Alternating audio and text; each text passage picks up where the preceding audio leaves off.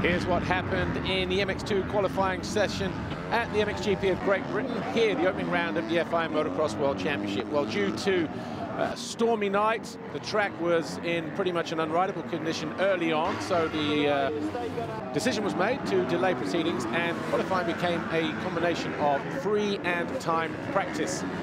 Early on, Albi Forato was one of the guys that was making the the pace. But then this guy, the MX2 rookie, number 39, Rowan van der Moosdijk, also started to get his name towards the top. Thomas Kjær Olsen, though, already riding with a wrist injury, went over the bars, and he would only be good enough for seventh place.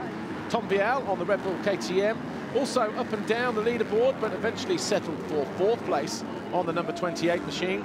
Jago Geerts went top briefly, but was pushed down to third late on in the session, and he would eventually finish six tenths down on uh, Rowan van der and Mikkel Haarup here, the number 11, the lead F&H Kawasaki rider today in qualifying.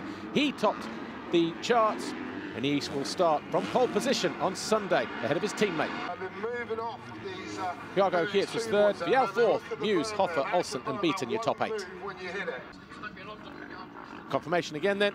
Haarup will go to the line first for the MXGP of Great Britain on Sunday. Yeah, you know, I, I didn't, honestly, I didn't expect to go out and uh, do so well. I was just trying to do some decent laps and uh, I think even on last lap, even though I was first, I even made a better lap time. So uh, I'm really happy with my riding and uh, yeah, just looking forward to tomorrow. The track is very difficult, uh, but hopefully it will be a good racing tomorrow.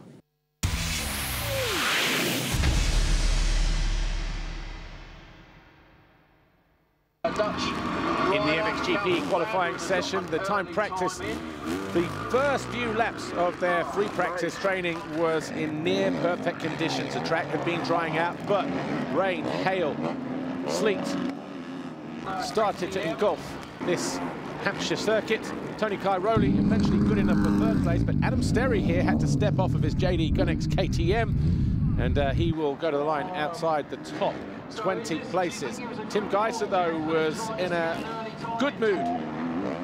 He eventually put in a lap, 241.6, which would be good enough for pole position, three tenths clear of Jasikonis. Gauthier Paulin there on the Montreal Yamaha came home in eventual ninth place ahead of Calvin Vlaanderen. Cairoli, as we said, was up to third. Jeffrey Herlings tried to put in a lap towards the end, but it eventually fell short for fourth. There's Clement Desalle here, number 25 on Montreal Kawasaki, had to be content with sixth.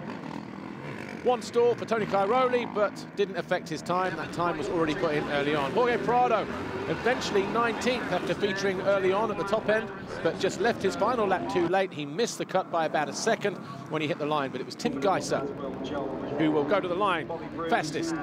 Jasikonis second, Cairoli, Herlings, Jonass, DeSalle, Jacobi, and Evans.